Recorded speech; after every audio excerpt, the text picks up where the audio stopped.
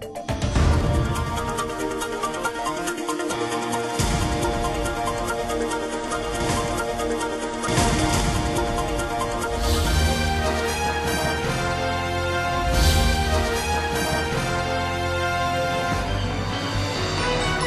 देख रहे हैं Dakhal news.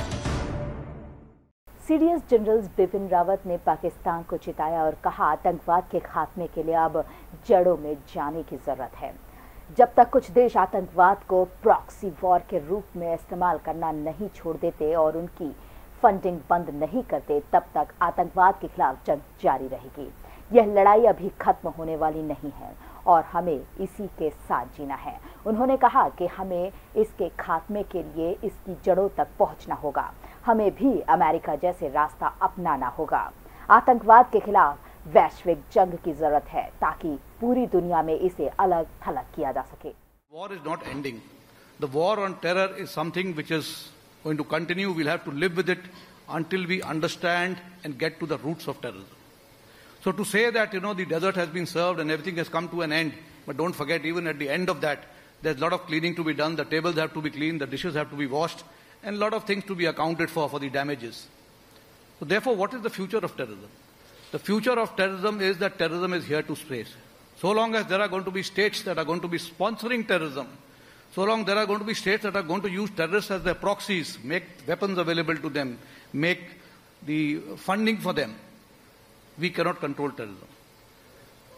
And therefore, what is the final end state that we wish to arrive at?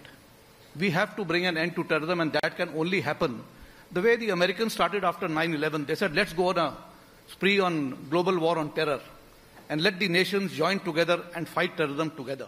पूर्व सेनाध्यक्ष और वर्तमान सीडीएस रावत ने कहा कि अगर हम आतंकवाद को खत्म करना चाहते हैं तो हमें भी अमेरिका जैसा रास्ता अपनाना होगा, जैसे उन्होंने 9/11 के बाद शुरू किया था आतंकवाद के मददगार और इसके प्रायोजक देशों के साथ भी ऐसा ही रवैया अपनाए जाने की ज़रूरत है उन्होंने पाकिस्तान पर निशाना साधते हुए कहा कि एफएटीएफ जैसे मंचों पर ऐसे देशों को ब्लैकलिस्ट किया जाना चाहिए। साथ ही, कूटनीतिक तौर पर भी ऐसे मुल्कों को कहीं भी जगह नहीं मिलनी चाहिए। शिवसेना के बड़बोले नेता संजय राउत ने कहा था कि इंदिरा गांधी अंडरवर्ल्ड के करीम लाला से मिलने आती थी। संजय राउत के इस बयान के बाद कांग्रेस आग बबूला हो गई। शिवसेना प्रवक्ता संजय राउत के बयान पर देश में सियासी घमासान मच गया। संजय राउत ने कहा था, एक समय मुंबई का अंडरवर्ल्ड बैंकॉक से भी ज़्यादा ताकतवर था। यहाँ तक कि तत्कालीन प्रधानमंत्री इंदिरा गांधी भी तब के अंडरवर्ल्ड डॉन करीम लाला से मिलने मुंबई आती थी। करीम लाला के कहने पर मंत्रालय तय होते थे। इस पर प्रतिक्रिया व्यक्त करते हुए कांग्रेस नेता संजय निरुपम ने कहा, बेहतर होगा कि शिवसेना के मिस्टर शायर दूसरों की हल्की फुल्की शायरी सुनाकर महाराष्ट्र का मनोरंजन करते रहे। पूर्व प्रधानमंत्री इंदिरा गांधी जी के खिलाफ दुष्प्रचार करना तो उन्हें पछताना पड़ेगा। उन्होंने जो बयान दिया है वो वापस ले संजय निरुपम ने अपने एक अन्य ट्वीट में लिखा। यह विडंबना है कि छत्रपति शिवाजी महाराज के नाम पर राजनीतिक दुकान चलाने वाले शिवसेना उनके वंशजों से वंशज होने का सबूत मांग रहे हैं। यह इतिहास की सबसे बड़ी राजनीतिक उद्दंडता है। वहीं मुंबई कांग्रेस के अध्यक्ष मिलिंद देवड़े ने भी शिवसेना के बयान की आलोचना और ट्वीट किया कि इंदिरा गांधी सच्ची देशभक्त थी। बयान पर बवाल मचने के बाद इस मामले से डरे हुए संजय राउत ने सफ़ाई दी और गुरुवार सुबह अपने बयान से यू टर्न ले लिया। राउत ने कहा कि उनके बयान को गलत तरीके से ले लिया गया है। करीम लाला पठान समुदाय के बड़े नेता भी थे। पठानों की भलाई के लिए इंदिरा गांधी समेत तमाम नेता आपस में मिलते रहते थे। अब करीम लाला होता, त्याला भेटायला इंदिरा गांधी जायच्या पायधुणीला हे अंडरवर्ल्ड आम्ही पाहिलंय. हे आता काही नाही. जी तुम्ही आता नावं घेताय मग तो दाऊद इब्राहिम असेल बरं का छोटा शकील असेल शरद शेट्टी होता. हे सगळे लोक ह्याच्या हातामध्ये मुंबई आणि आसपासचा भाग होता. ते ठरवायचे मुंबईत काय होणार पोलीस कमिशनर कोण होणार मंत्रालयात कोण बसणार? हाजी मस्तान जेव्हा मंत्रालयात जायचं तो अख्खं मंत्रालय त्याला घ्यायला खाली यायचं मी पाहिलेलं आहे. बुंदेलखंड मेडिकल कॉलेज की सामान्य परिषद की बैठक में शामिल होने के बाद चिकित्सा शिक्षा मंत्री डॉक्टर विजय लक्ष्मी साधो ने बीएमसी परिसर का निरीक्षण किया। लेकिन निरीक्षण के दौरान टॉयलेट से आ रही तेज बदबू की वजह से मंत्री साधो को अपनी नाक पर हाथ रखना पड़ा, जिसके बाद उन्होंने बीएमसी प्रबंधन को जमकर फटकार लगाई।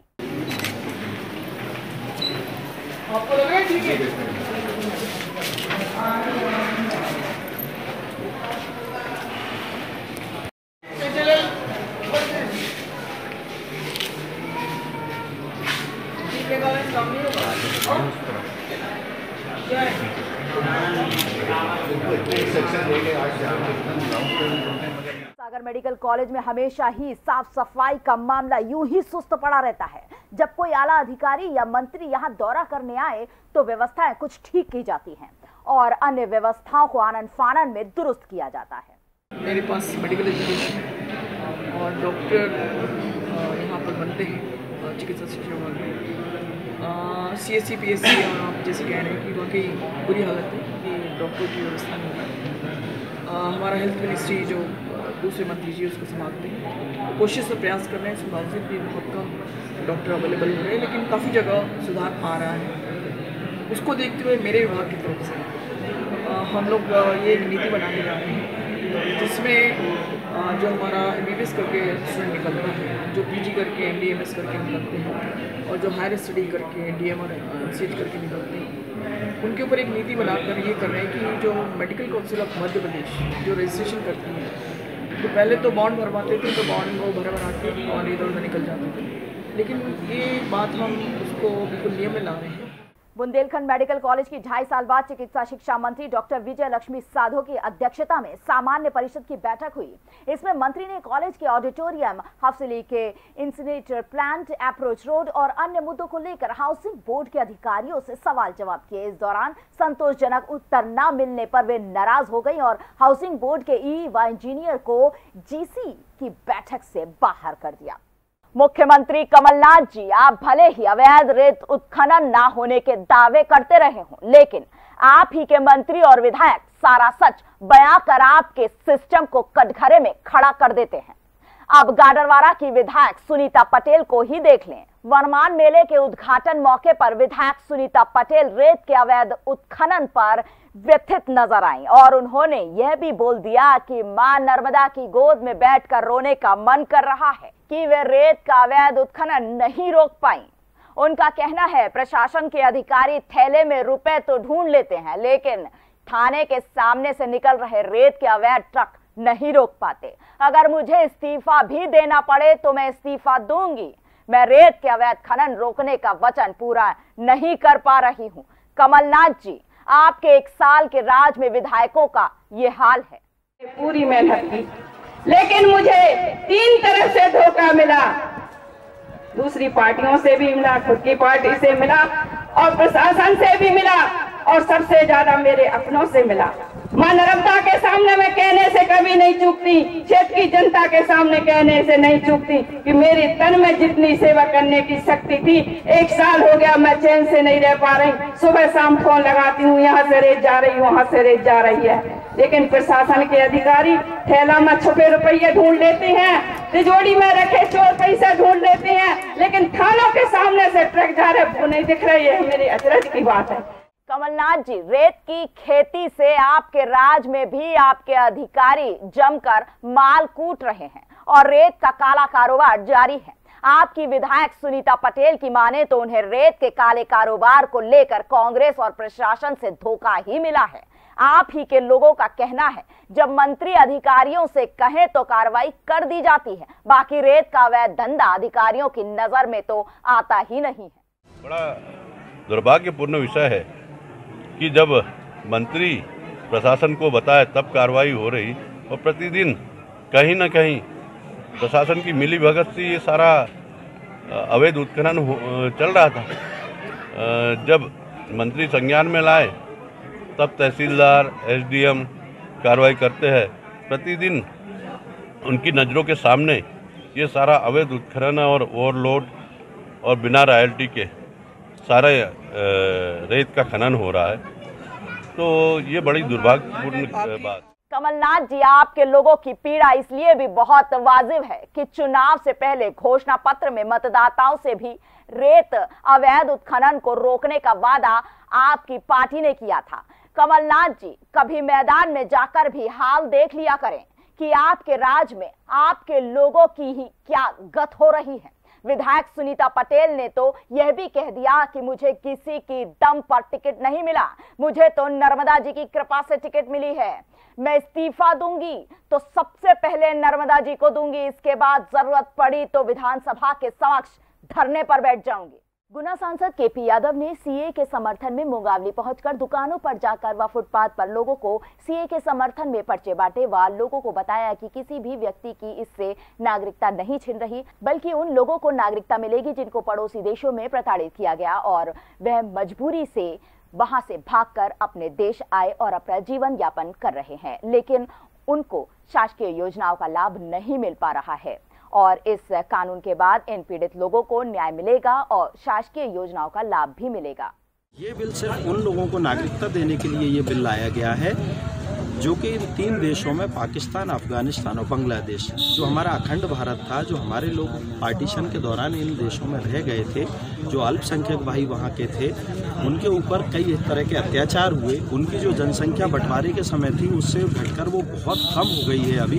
वो कई तरह के उनके ऊपर अत्याचार हुए तो वो भाग कर वहाँ सर किसी तरह हमारे देश में उन्होंने शरण ली और वो शरणार्थी की तरह से हमारे देश में रह रहे हैं। लेकिन जब तक उन्हें नागरिकता नहीं मिलेगी तब तक उन्हें यहाँ की जितनी भी जनहितकारी जन कल्याणकारी जो सरकार की योजनाएँ रहती हैं, उन योजनाओं का, उन भाई बहनों को कोई भी लाभ नहीं मिल पा रहा है। तो जैसे ही इस कानून के दौरान उनको नागरिकता मिलेगी तो उन्हें वो सारे लाभ मिल सकेंगे जो हम सबको मिलते हैं। अधिकारियों की लापरवाही और मनमानी के कारण मध्य प्रदेश सरकार की योजनाओं का लाभ आमजन को नहीं मिल पा रहा है। दरअसल, निवाड़ी ज़िले की ओरछा तहसील अंतर्गत पश्चिमी मरोड़ गाँव में राजनीति के चलते विकास कार्य ठप पड़ा हुआ है। गाँव को मूलभूत सुविधाएँ भी नहीं मिल पा रही हैं। गाँव में नाली न होने के कारण सड़कों पर बहता पानी स्थानीय लोगों की मुसीबत का सबब बन गया है। इतना ही नहीं, गाँव में आने जाने के लिए सड़क न होने के कारण ग्रामीणों को लगभग 12 किलोमीटर का चक्कर लगाना पड़ता है। सबको की, कलेक्टर को भी की और तहसीलदार को भी की। और कई बार तो कलेक्टर में हम लोग ट्रैक्टर भर के भी गए लोग बाग कोई सुनवाई नहीं हो रही सर। सड़क इसलिए नहीं बन पा रही, यहाँ पर जो तहसीलदार को आवेदन दिया था तो वो कहते हैं जो ज़मीन बीच कड़ी है रास्ता की, वो नाप गए थे। लेकिन यहाँ जो पत्थर रखे हुए हैं, दोनों साइड से, वो कहते ज़मीन हमारी है, उन्हीं तहसीलदार ने उनको स्टे दे दी। इसी कारण नहीं बन मिल अब तहसीलदार ने पहले आदेश कर दिया अब तहसीलदार का समझ में नहीं आता आदेश कर दिया और फिर स्टे कैसे दे मिल गई? ग्रामीणों का कहना है कि पिछले एक वर्ष से लगातार जिला मुख्यालय में बैठे आला अधिकारियों से शिकायतें की जा रही हैं, लेकिन इसके बाद भी अधिकारियों के सिर पर जू तक नहीं रेंग रही। ग्रामीणों को सिवाय आश्वासन के कुछ हासिल नहीं हुआ है और न ही अब तक समस्याओं का निराकरण किया गया है। बुढ़ेरा पंचायत का शिकायत का जो आपने अभी आपके माध्यम से ज्ञात हुआ है ये जन सुनवाई में इन्होंने आवेदन दिया था सात जनवरी को। और रास्ते पे कुछ अतिक्रमण को लेके और दूसरी चीज़ों के कारण जो सड़क नहीं बन पा रहा, उसके संबंध में आवेदन है। इसके बारे में जन सुनवाई शाखा से पता किया गया है। ये तहसीलदार को और सीओ को निर्देशित किया गया है। अभी इसको एक वीक ही हुआ है। शीघ्र इस पर कार्रवाई की जाएगी और तहसीलदार और सीओ के द्वारा जो भी इस पर कदम उठाना है, वो उठाया जाएगा।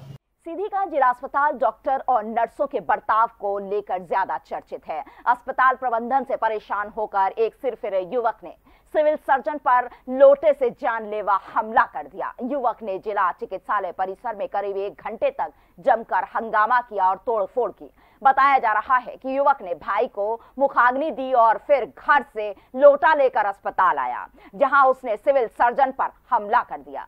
जिसके बाद वहाँ मौजूद गार्डों ने सिविल सर्जन को बचाया, लेकिन बीच बचाव करने आए तीन व्यक्ति उस लोटे से जख्मी हो गए। युवक ने चिकित्सालय के सिविल सर्जन एवं पुलिस को जमकर कोसा। युवक ने बताया कि उसके भाई की एक्सीडेंट में मौत हो गई थी। उसके भाई की पीएम रिपोर्ट ना तो सिटी कोतवाली से दी जा रही है और ना ही अस्पताल प्रबंधन उसे पीएम रिपोर्ट दे रहा था। पीएम रिपोर्ट मांगने पर अस्पताल में उसके साथ गाली गलौज की गई और उसके साथ मारपीट की गई। इसको खरे को तत्काल सस्पेंड तत्काल सस्पेंड भाई का गाली गलौज मारपीट कराया। उसके बाद पुलिस हमारे भाई के मर्डर के के सबूत में पुलिस बरामद करके मोबाइल किसी अन्य आदमी को दे दी। कोई सुनवाई नहीं कर रही है। मेरा भाई खुद एडीजी राजस्थान में बी सोनी है। वो सीआईडी एडीजी राजीव टंडन को मध्य प्रदेश में बताए। लेकिन एडीजी सीआईडी की ये बात नहीं सुन रही है पुलिस। हंगामा करने की सूचना मिलते ही सिटी कोतवाली पुलिस मौके पर पहुँची, जहाँ पुलिस ने तीन व्यक्तियों को गिरफ़्तार किया और मामला दर्ज कर उन्हें जेल भेज दिया। इस पूरे मामले पर सिविल सर्जन का कहना है कि युवक के द्वारा उन पर जानलेवा हमला किया गया और उनके साथ गाली गलौज भी की गई, जिसकी शिकायत उन्होंने सिटी कोतवाली में की। थाना प्रभारी ने बताया कि हंगामा कर रहे तीन व्यक्तियों को गिरफ़्तार कर जेल भेज दिया गया है। राजकुमार सोनी नाम का एक व्यक्ति आया मेरे किसी भाई की पोस्टमार्टम रिपोर्ट मांगने लगा। हमने उसको ये कहा कि पोस्टमार्टम रिपोर्ट तैयार करके पुलिस को सौंपी जाती है ना कि संबंधित जन को। तो वो पुलिस को सौंप दी जाएगी। उसके बाद फिर आप वहाँ से ले लेना या आर लगा लो तो उसको मिल जाएगी आपको।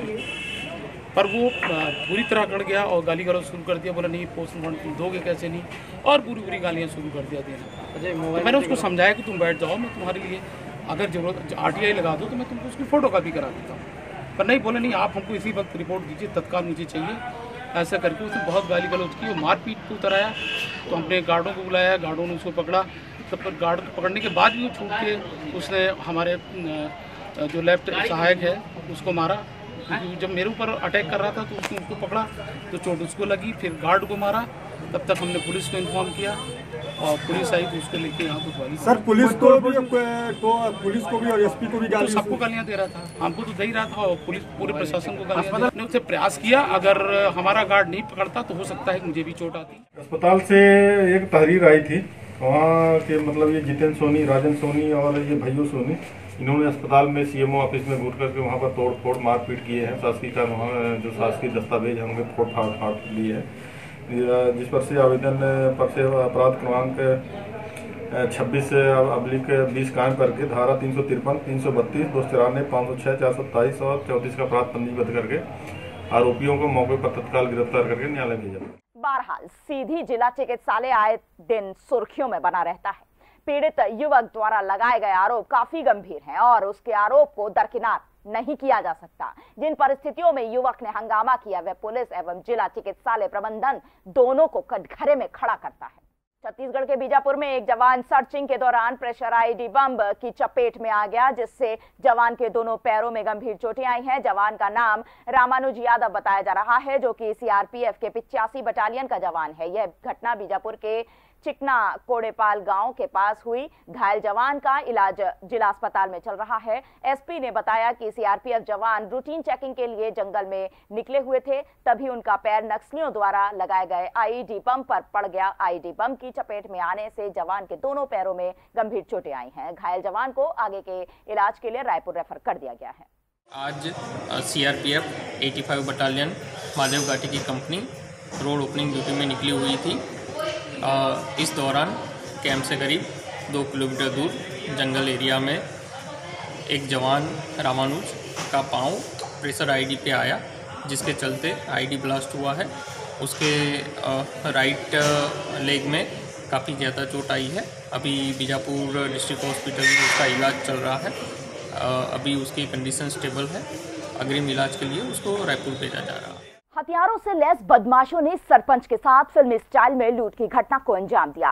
रीवा के अतरेला थाने में बदमाशों ने सरपंच को डीजल बेचने के बहाने बुलाया और कट्टा लाकर उनसे अंगूठी व रुपए छीनकर फरार हो गए। बदमाशों को पकड़ने के लिए पुलिस ने नाकाबंदी की और दो आरोपियों को गिरफ़्तार कर लिया। बताया जा रहा है कि सरपंच प्रभात कुमार द्विवेदी के मोबाइल पर किसी ने फ़ोन किया और खुद की जेसीबी मशीन चलाने की जानकारी दी। पैसों की आवश्यकता बताकर सरपंच को डीजल बेचने का प्रलोभन दिया। सरपंच के बदमाशों के बताए अड्डे पर पहुँचने पर बदमाशों ने कट्टा लगाकर उनकी अंगूठी और पैसे छीन लिए और धमकाते हुए वहाँ से फरार हो गए। सूचना मिलते ही पुलिस मौके पर पहुँची। मोबाइल के टावर लोकेशन के आधार पर सतना में दो बदमाशों को पकड़ लिया गया।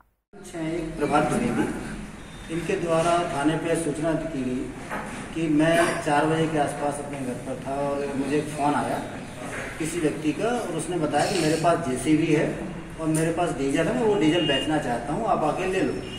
तो अज्ञात नंबर था, इनको जानकारी थी नहीं, ये देखने के हिसाब से चले गए वहाँ कि कौन व्यक्ति है जो डीजल बेच रहा हो मुझे फ़ोन कर रहा है।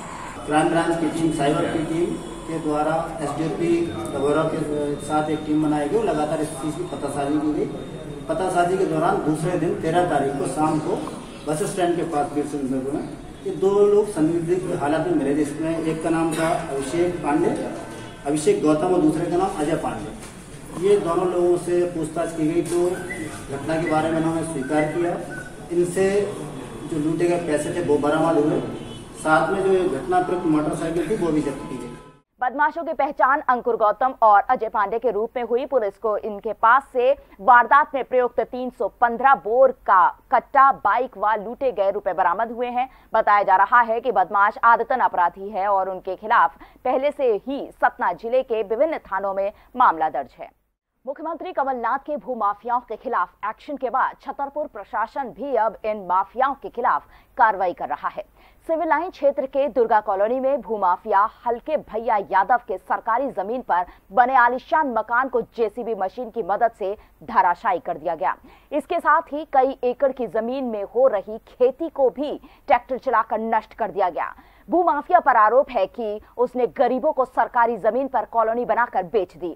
पुलिस ने इस भूमाफिया को गिरफ़्तार कर जेल भेज दिया है। प्रशासन का कहना है यह कार्रवाई आगे भी जारी रहेगी।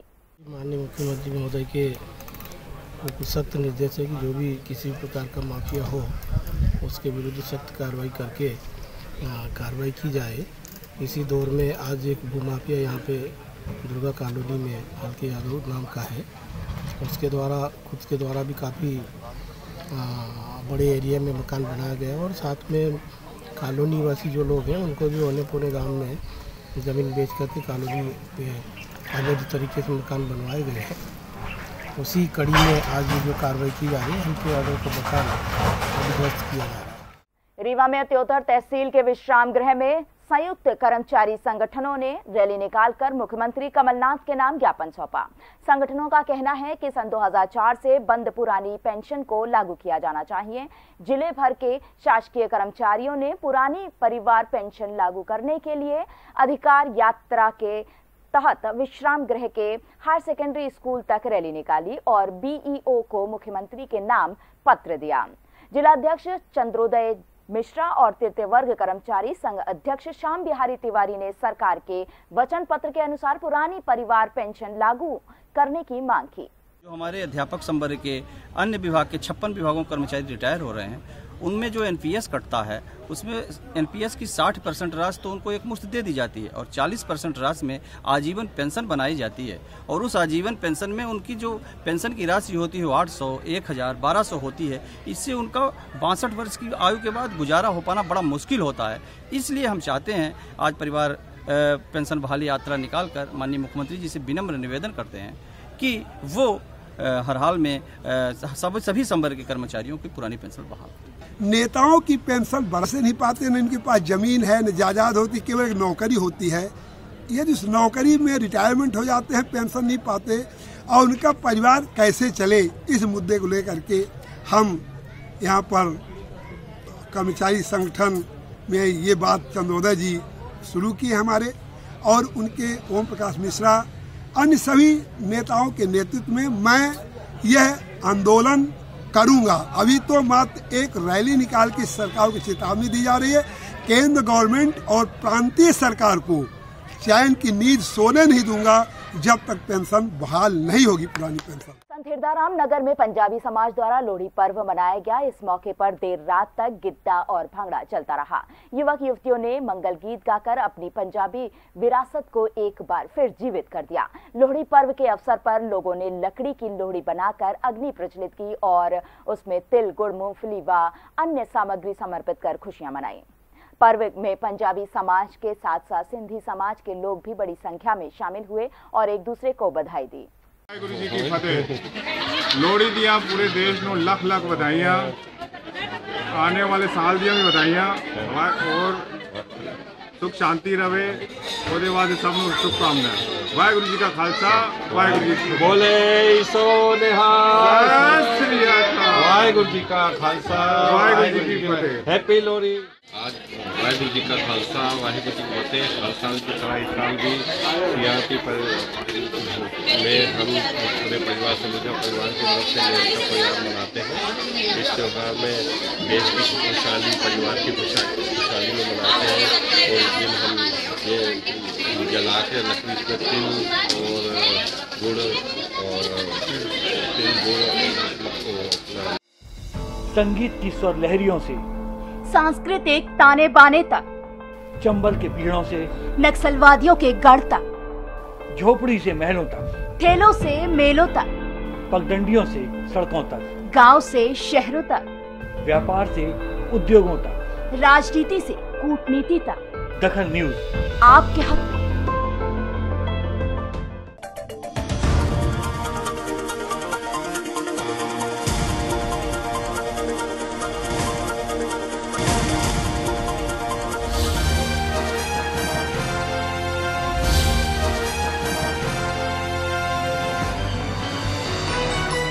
देख रहे हैं दखल न्यूज़।